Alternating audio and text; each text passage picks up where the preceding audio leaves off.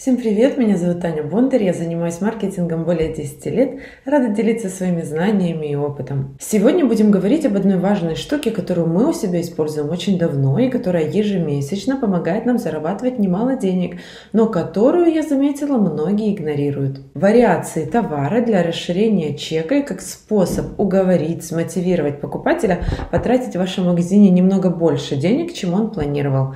Как всегда, кратко, четко и по делу разберемся за 5 5 минут или немножечко больше. Поехали!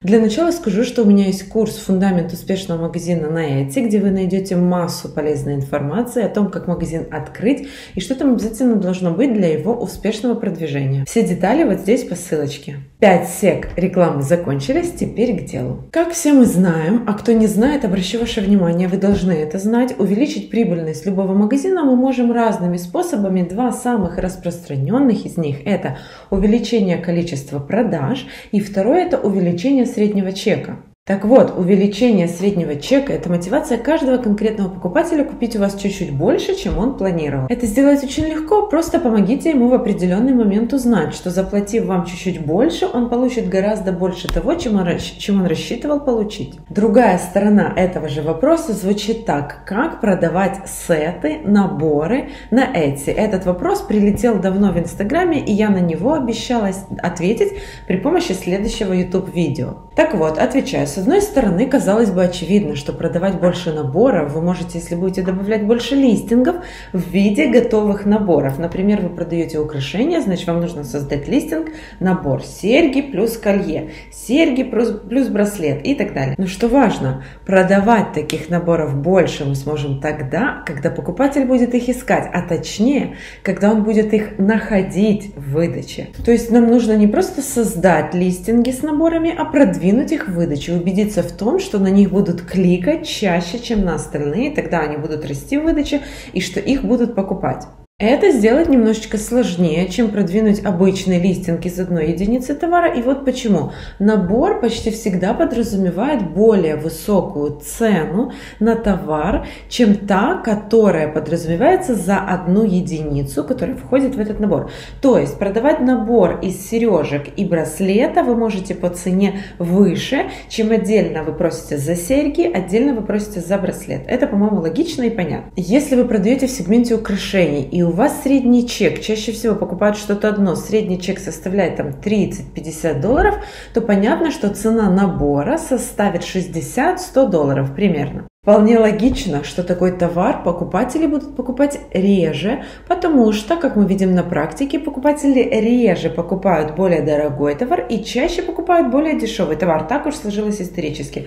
Конечно, есть нюансы в зависимости от ассортимента, ниши, способа продвижения и так далее, но чаще всего ситуация обстоит именно так. И это нормально. Поэтому логично продавать наборы через готовые листинги наборов можно, но нужно быть просто готовым к тому, что это такие листинги будут покупаться в вашем магазине реже, и это тоже абсолютно нормально. Чем листинги единичные, я имею в виду, чем листинги с одной единицей товара. Отличный способ продавать наборы и таким образом расширять ваш средний чек, то есть мотивировать покупателя платить вам немножко больше, чем он планировал, это через добавление вариаций в опции листинга. Когда, к примеру, у вас есть товар серьги за 35 долларов, а у него в вариациях есть вариант э, купить просто сережки за 35, сережки плюс браслет там за 70, сережки плюс браслет плюс кольцо за 100, например. Вот так вот это выглядит на практике. Покупатель попадает к вам на листинг стоимостью в 30, 40, 50 долларов, в стоимость одной единицы товара. И вот тут и есть преимущество этого подхода перед подходом по продвижению готовых наборов, что покупатель изначально заходит в листинг, который не выделяется, в принципе, по средней цене в выдаче среди конкурентов. Он заходит на листинг одной единицы товара. Он не готов сразу же понять, что он хочет купить набор за 100. Он хочет купить одну единицу товара за 30, 40, 50 долларов и готов познакомиться с ней поближе, когда он смотрит общую выдачу. Переходит на такой листинг. Листинг прекрасно конкурирует в выдаче и никого не смущает своей ценой, поэтому покупатель на него кликает. Изучает, готов добавлять в корзину. И вот тут вот на этом этапе оказывается, что ему нужно выбрать вариацию набора. Тут у нас есть э, возможность каждой вариации прикрепить фото вот тут вот, что повышает вероятность смотивировать покупателя купить больше, чем он собирался. Здесь же каждой вариации мы можем отдельно присвоить цену. Вот здесь это делается в админке. Вот тут вот мы присваиваем каждой вариации фотографию. Вот здесь присваиваем каждой вариации цену.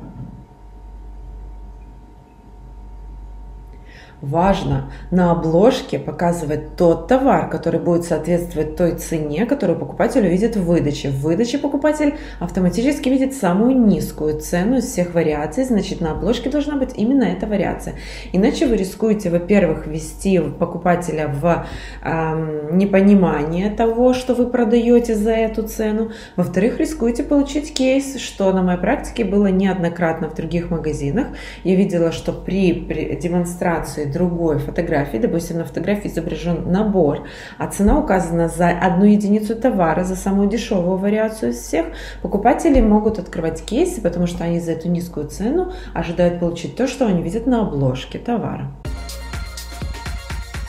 Далее я хотела бы показать все вышеописанное на примере нашего магазина. Пошагово покажу, как мы эти вариации оформляем. В принципе, здесь все понятно, но я еще раз пройдусь конкретно по каждому моменту, как их корректно оформить и расскажу, какой результат мы рассчитываем получить. А также покажу, как правильно рассчитать стоимость доставки для каждой из вариаций, как правильно это оформить в магазине, потому что вариации из наборов, конечно же, могут быть э, более... Э, большими по габаритам, чем одна единица товара и могут затягивать на другую стоимость доставки. А еще, конечно же, отвечу полностью более подробно на вопрос, который был толчком для создания этого сюжета, который звучит вот так. Особенности продажи сетов. Почему-то собранные сеты со скидкой не берут, но при этом покупают товары по три штуки. Это видео я публикую на своем закрытом Patreon канале. Для того, чтобы получить к нему доступ, вам нужно там быть на меня подписанной. Стоимость подписки стоит 3 доллара долларов в месяц. За 3 доллара в месяц вы получаете каждую неделю полезный, подробный, информативный урок на важные для эти продвижения темы. Ссылку на Patreon канал вы найдете сразу под этим видео. Буду очень благодарна вам, если вы там на меня подпишетесь и поддержите меня там. Если у вас есть какие-то вопросы по этой или любой другой теме, пожалуйста, не стесняйтесь, приходите в наш бесплатный телеграм-чат. Там я или другие участники чата обязательно вам помогут. Также буду рада помочь вам лично с индивидуальной консультацией консультации по вашему магазину или нише. Надеюсь, этот выпуск был для вас полезным. Пожалуйста, подписывайтесь на мой канал, ставьте лайки. Будем развиваться на эти вместе. Пока!